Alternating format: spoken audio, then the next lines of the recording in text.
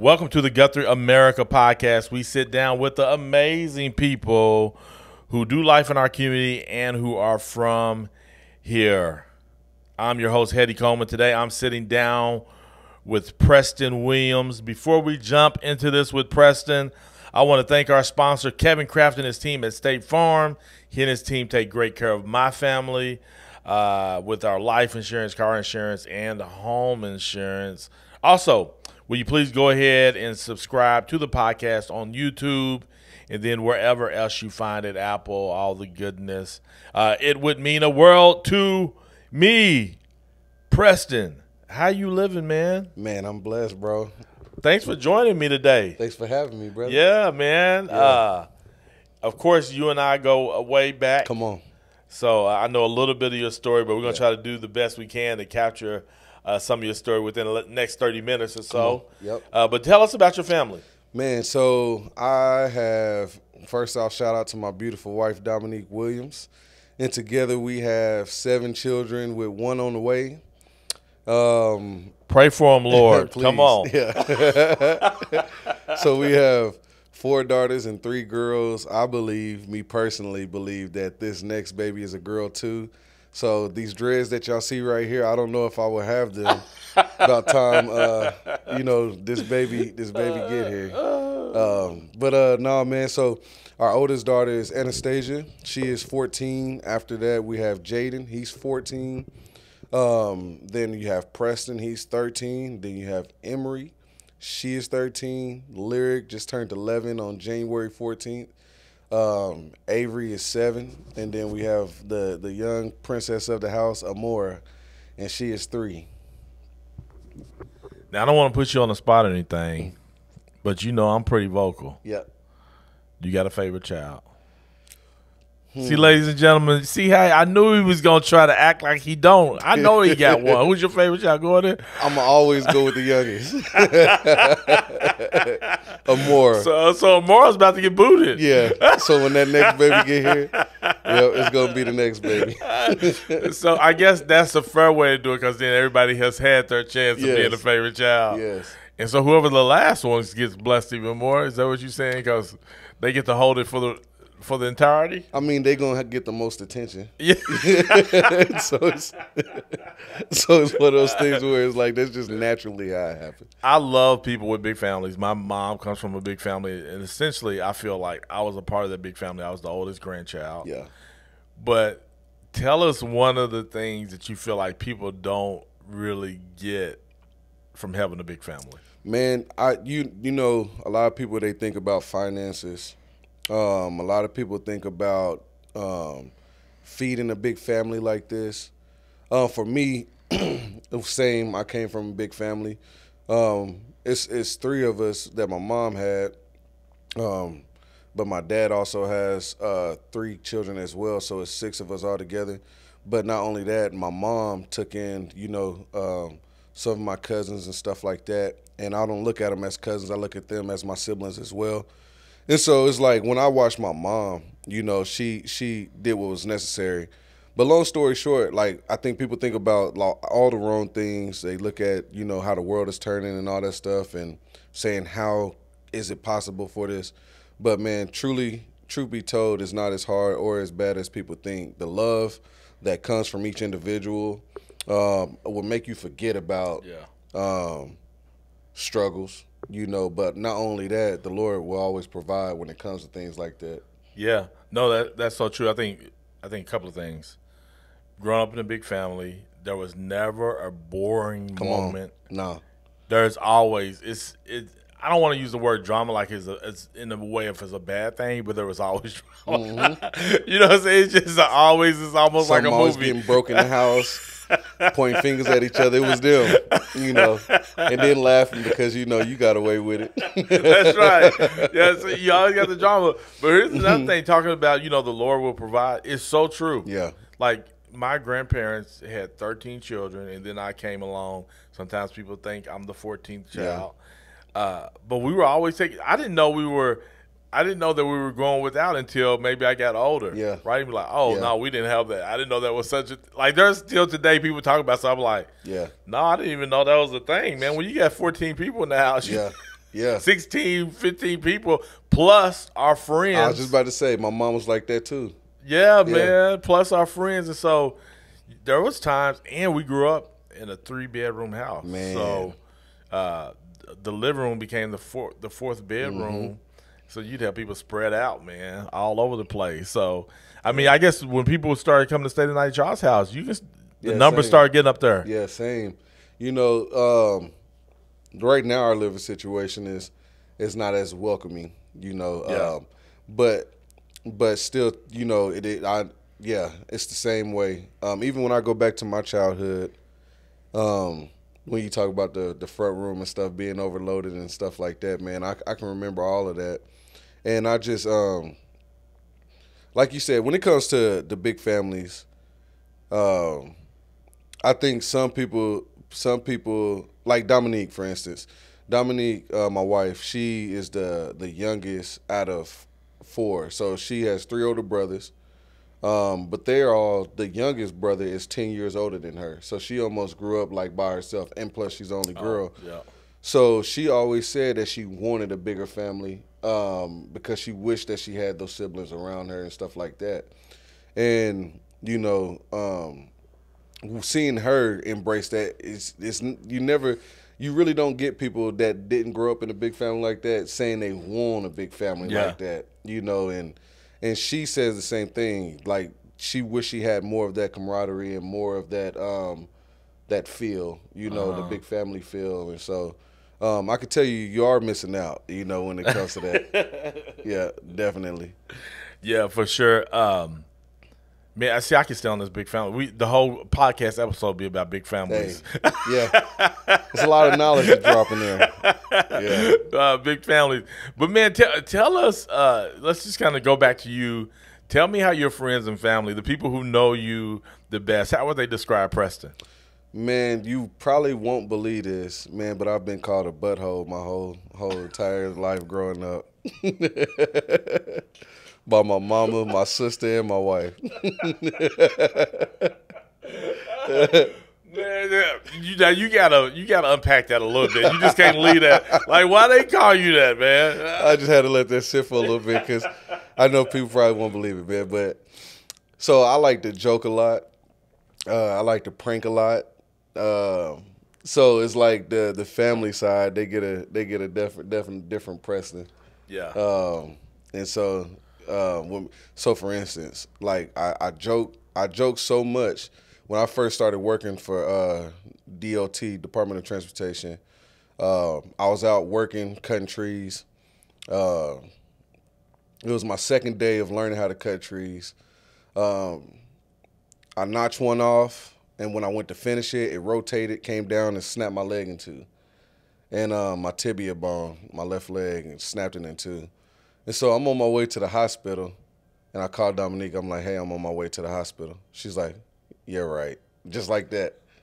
I said, "Babe, I'm really on my way to the hospital." She said, "What happened if you're on your way to the hospital?"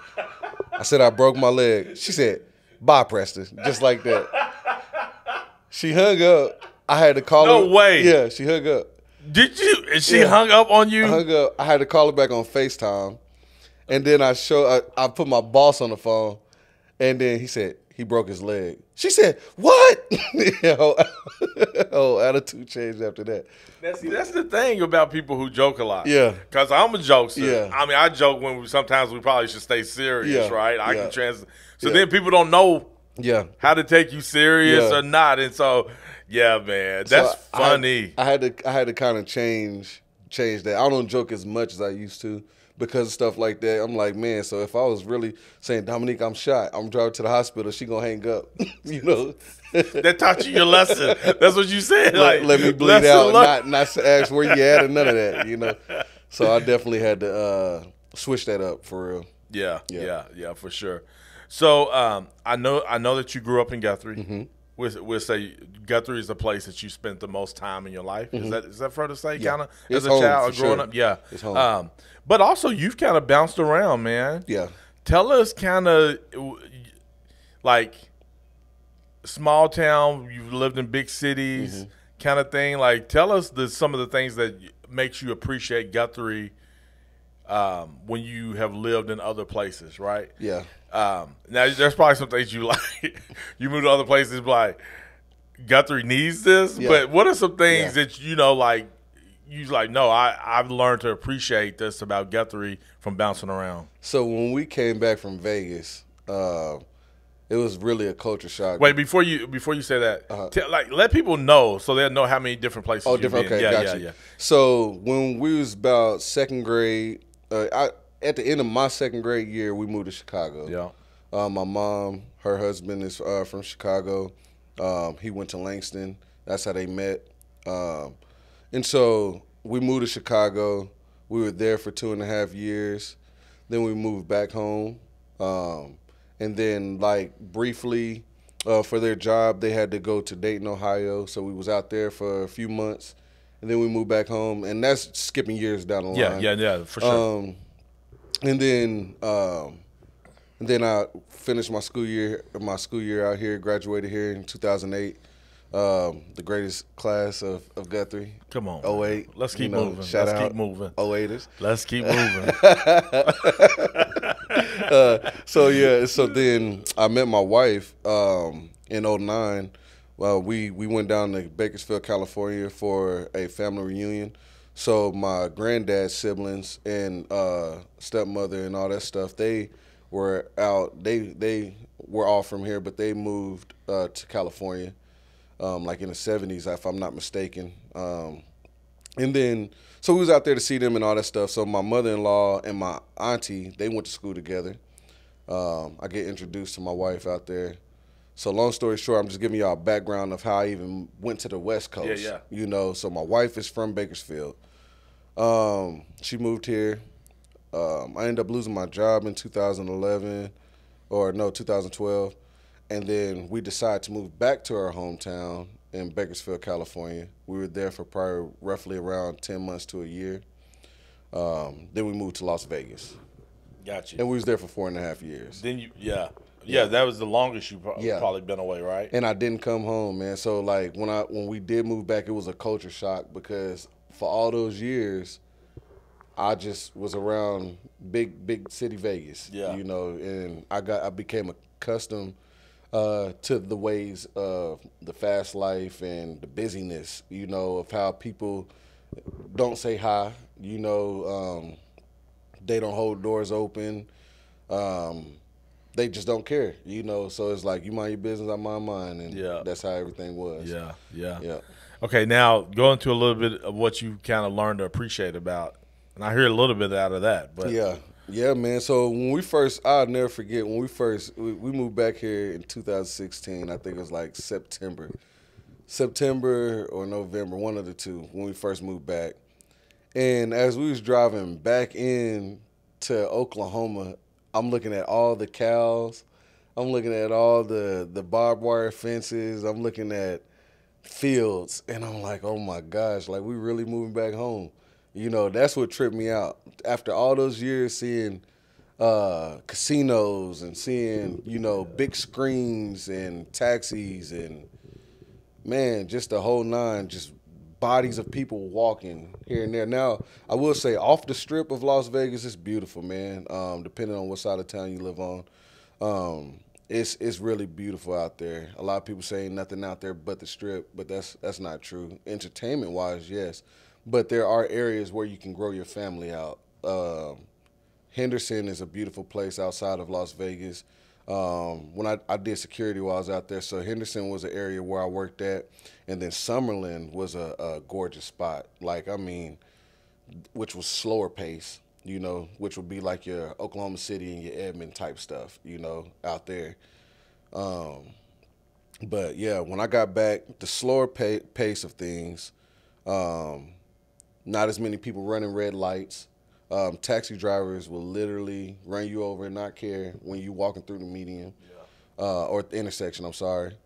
Um, yeah, man. Um, not sitting in the DMV line for six hours to, to to update your license. Like you come back home, you in and out like Yeah. within the 30 minutes. Not even that long half of the time. So it's like it was just a whole lot of stuff that I when I got home, I had to really sit for for the rest of 2016, to be honest, for me to really appreciate, because I was a little upset when we had to move back at first, to be honest, you know.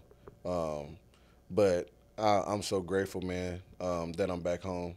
Yeah, yeah, yeah. As you settle in, kind of start Yeah. reacclimating yourself, Yeah. because now you you know you talking about living out on some land, Yeah, yeah. you know, digging it up Yeah, and yeah. you know, gardening and all Yeah, that stuff is yeah, what I hear from. Like it don't feel like Vegas kind of Nah, stuff I heard bro. from you right now. Nah. I, I'm telling you, when I came back home, I really like around 2017, 18, man, is when I really was like, dude, I was tripping. Yeah. Like, how how do you not want to be, you know, in this type of environment? Um, people that don't come from it, they don't know how to appreciate it. But whenever you come from it and you leave and you come back, you you gain, you know, an appreciation of of what exactly is made available to you. You Yeah. know. Yeah, for sure. No, that's good. Um, man, I think an important thing that I don't want to miss out on because Guthrie America, the podcast is, you know, yeah, we're talking about uh, Guthrie to a certain degree, but it's about the people. Mm-hmm. Yes. And um, one of the things that I know about you is your faith is huge. Yes. Uh, you've had a life changing experience uh, out of your relationship with Jesus Christ. Man, give us the. I know it's a it's a big story. Yeah. But give us a short synopsis on just um, um, your faith being a priority in your life. Yes. So, man, um, I'll just say this: like, whenever growing growing up in church, you know, we were raised to know Jesus. You know, um, but when you have culture um, around you, and and culture is more of what you lean on, you kind of grow up outside of you know um, you grow up more learning about the culture than church itself so when i grew up i grew up learning more about the culture with jesus inside the culture. Um, so i lived for the culture more than i lived for jesus. I just put it like that. Um, and then in vegas one thing that I do know, just to backtrack a little bit, I know that whenever we left to go to California and from California to Vegas, that was that was God pursuing me. Because before we left, I asked the Lord. I was I was in the season to where I was lightweight, becoming depressed. Um, my hours was getting cut at work and things of that nature. Eventually, I lost my job. Um, and I just remember asking God, like, if you real, show me. If you real, show me. Um, and I remember feeling his presence sweep through the room. Um, not to be funny or nothing, but I was high at the time and it freaked me out. So I was like, bro, I ain't smoking this no more. You know, and I really kind of put it to the side and and just um, left. I, rela- I was so freaked out, I left the room. You know, and just. But when I put all the pieces together back then, I was like, that was God really taking me away from what I knew on this journey to get to know Him. Because, like I said, I knew of Jesus, but I knew more of the culture. You know, churches tend to create a culture instead of um, um, a model after Jesus. You know, um, and so yeah, in Las Vegas, man, I ended up um, having this experience with Jesus, um, and He knew what I needed because in that time, I was able to see um, a lot of young adults. I was like 23, 24 at the time, and I was able to see a lot of young adults who was not pursuing the busyness and the fun lifestyle and the sinful nature of Las Vegas, but they were set apart and really investing in one another, um, being at church, or if they were on the strip, they were meeting up, you know, at buffets and stuff like that, breaking bread with one another. You know, they wasn't about getting out, getting lost in Las Vegas, man. So that taught me a whole lot to where it's like, okay, like I've I've always seen both. You know, we were able to do both. But I'm looking at these young adults, not older people, people my age and some were younger, be dedicated to living a life that is solely about Christ and Christ alone. And so that's that's where my faith grew from. After I, I was rebaptized and rededicated, um, I was around them and and that really did something to me to to show like when he says, you know, either be hot or cold, you know, the lukewarm he spit out, um, and I was able to gain and process those type of scriptures when he told us to pick a side, you know. So that's where the growth in my faith have, has come from. Yeah, yeah. No, that's cool, man. I, I love. I'm I'm still processing that whole. Uh, how do you say the culture, uh, kind of impacted how people did Jesus? Like how, yeah, how like they like so it's the culture, and then people take Jesus and trickle it inside of their culture. Yeah. So it's not it's not a lifestyle of Christ. It's still a lifestyle of our culture, Yeah, but we mentioned Jesus. yeah, yeah. Where Yeah. Jesus needs to be the one impacting the culture. Right. Like our culture changes based on what Jesus Yes. wants for us. So Yeah. a culture of loving one another. Come on, man. Yeah. Forgiveness. a culture of forgiveness. Yep. A culture of having peace. On. helping meet each other's needs. Yes. Right. Yes. I think about Acts. I mean, I always go back to Acts two, man. I just love the way they did community. You and me both. Yeah. 44 and 47, those verses right there, man. So it's really cool to be able to see uh, that transition happen in your life. I knew you before you went to Vegas for a little Mm-hmm. bit. We spent a few minute, moments together, and so uh, and then come back and just see you continue to be on fire for Jesus Yes. and how it's impacting your whole family's been really cool, man. Amen. Now, uh, I know one of the things too, uh, and I don't know if I knew this about you, and I don't even know at this time if you were into music, Mm-hmm. but I'm assuming so because pre-podcast we was talking about Yeah. your uh, brothers uh, teaching you Yeah. uh, music, and so. Um, but te- tell us about your love for music, man. And Man. So I always got to give a shout out to Anthony Jones, man. Uh, some of y'all knew him as AJ, and uh, man, he. Uh, so I don't, I couldn't tell you where him and Demarco grew the love for music. Um, I just remember when they moved back from from Texas, um, they moved in with us from as far as what I remember, and um, and I remember just seeing AJ up all night, every night, man, just writing, and then he would record. And you know, a lot of people they feel like they gotta have some of the nicest equipment to do it. Man, this dude had uh, a stereo, and and he turned one speaker into a microphone. I don't know how he switched the wires up to do that, but he would rap into this speaker, and everything played back out of this one over here. It was it was it was crazy. You I've know, never, I've never seen anything like that in I, my yeah, life. I still ain't never seen nobody do it. You know, uh, but and and the crazy thing about that was I remember asking him how he did it. He said, "Learn it yourself." Like he was one person who was huge on saying he he was not even when I was writing music, he would give me the basis of it, and when I asked more about it, he would tell me, "Go sit with it and spend time with it. Learn it yourself." You know, because I guess at that time, and it's so crazy because he's so young, um, but he he didn't want to hold nobody's hand. It was like figure it out, you know, type stuff. But I would watch him do all of this stuff day in and day out. And I remember one night I asked my mom, I was like, well, I asked him, I was like, man, can I come in and sit with you, you know, while you do this music? He said, you ain't gonna get me in trouble buying Vicky, go ask her. You know, and so I went and asked mama, and she was like, uh, as long as you get up for school in the morning, you know, and so I sat in there with him and for hours I fell asleep like on the floor next to him, you know, looking and watching him do this stuff and um that's just the beginning stage, but throughout the years, man, I just started doing more music with him. I'll never forget one of those times he wrote a verse for me. And uh, this is how I really started writing for myself. Um, he wrote a verse for me, and when I didn't rap it how he wrote it, he's like, "Nah, bro, get out of here." He's like, he's like, "Go write your own stuff," you know, type stuff. He was really, he was really serious about music. He didn't want it to sound trash or none of that, you know. So that's where it began. Um, I was, I was 12 years old. That's cool. Now, um, you know, we, we, we always hear people talk about bars, Mm-hmm. right? And so, explain to people in Guthrie, America, what a bar is, please. Okay, so a bar is just a line, you know. So, um, um, so one of my first first songs um, was called Lifestyle. I said in 2012, I felt God tugging at my heart. That's one bar. Um, never knew that that was the beginning of a new start. That's two. Okay. So gotcha. like that's how your bars go. So, I mean, for for some of us who may not understand, like, so it could be like you could call them sentences. Mm-hmm.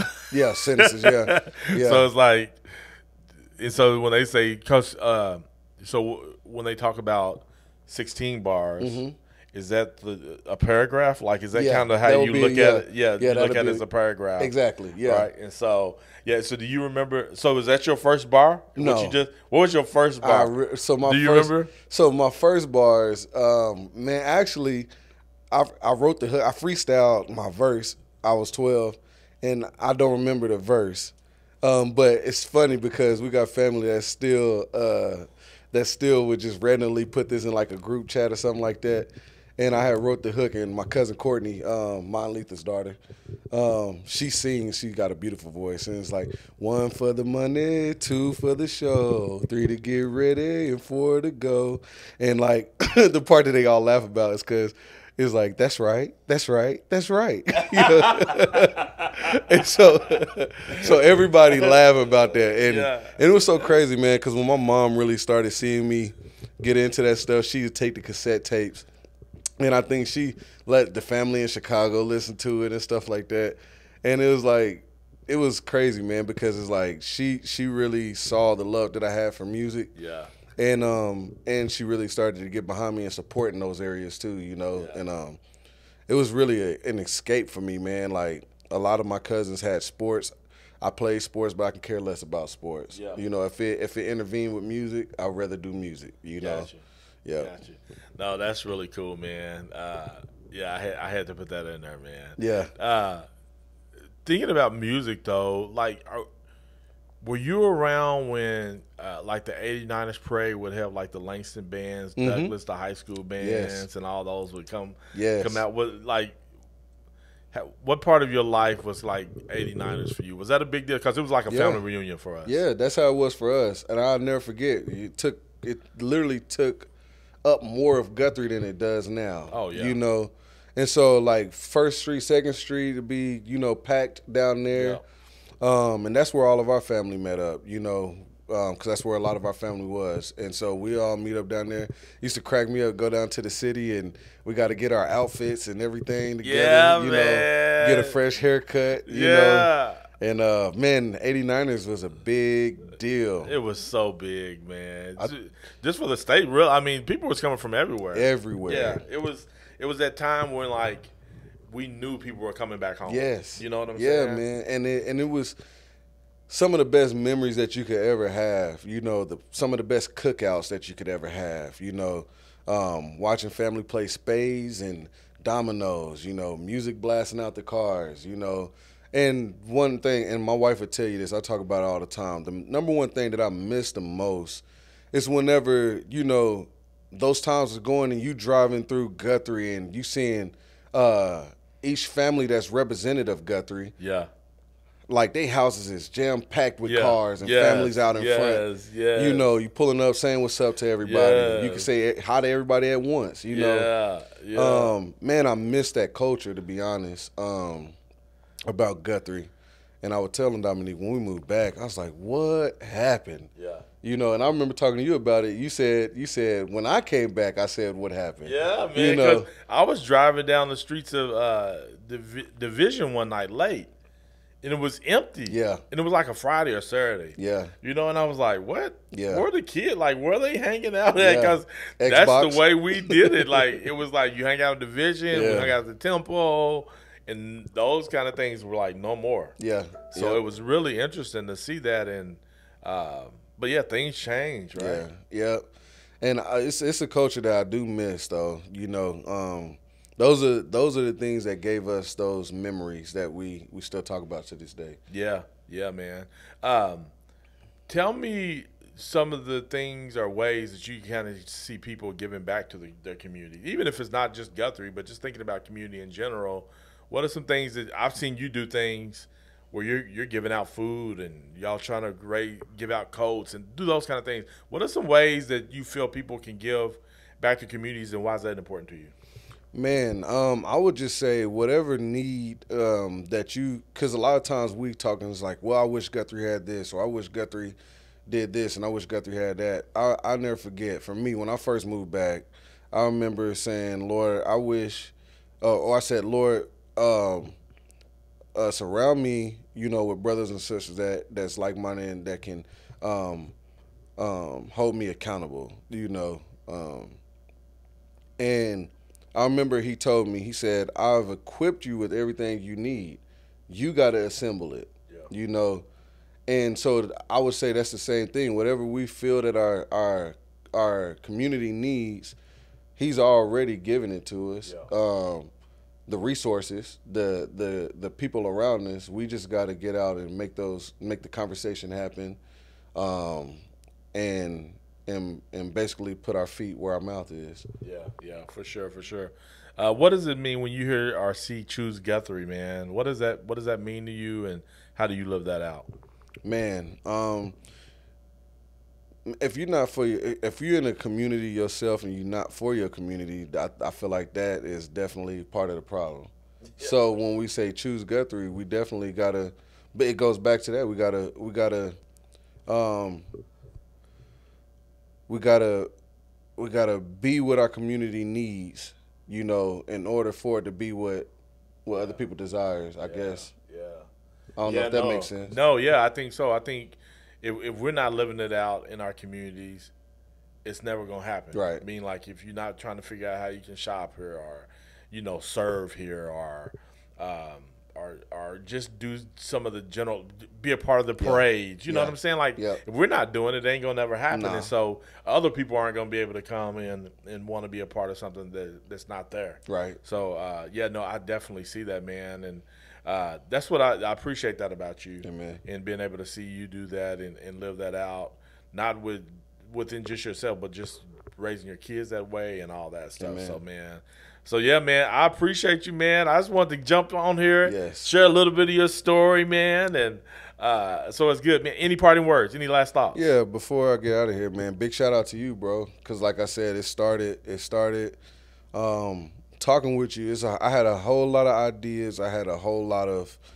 um, things that I know that the Lord was trying to birth through me, and I I never forget. Like I said, whenever we sit down and had conversations, you'd be like, "Man, you told me that last time. How come you still ain't started?" You know. And once again, it's like you got to put your feet where your mouth is. Yeah. You know, you can't just talk about it. We gotta, we gotta um, make it happen. And I mean, the word says it itself. He said, "Don't just be hearers, but be doers." Yeah. You know. yeah, that's right. Um, so yeah, man. Um, that's that's what I'll leave it with. We can't Yeah. just be hearers. We got to be doers. Yeah, that's cool, man. Hey, ladies and gentlemen, thank you all for hitting that play button for another episode of the Guthrie America podcast. Uh, we are on a mission to have every story told of those doing life in our favorite community and those from here. Uh, will yours be next? And until next time, ladies and gentlemen, until next time, choose Guthrie.